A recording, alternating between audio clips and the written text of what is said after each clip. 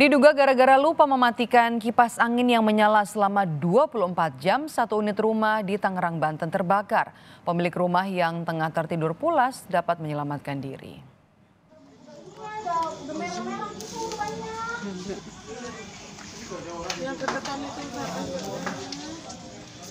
Sebuah rumah yang berada di tengah permukiman padat penduduk di Ciledug, Tangerang, Banten terbakar Rabu dini hari.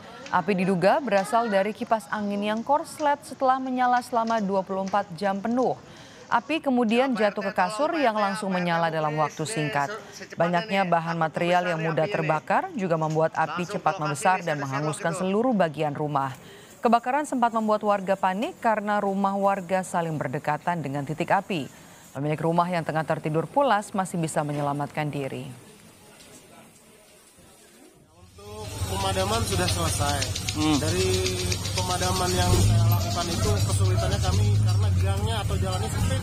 Hmm. Berapa unit bang yang diterjunkan? Mobil yang saya turunkan ada empat dari pos UPT Ciledug tiga sama pos Pinang satu. Hmm. Kalau proses eh, pemadamannya tadi berapa, berapa lama bang? Tidak salah hampir satu jam. Satu jam. Satu jam pemadamannya. Kalau dugaan apinya itu ada di lantai berapa bang?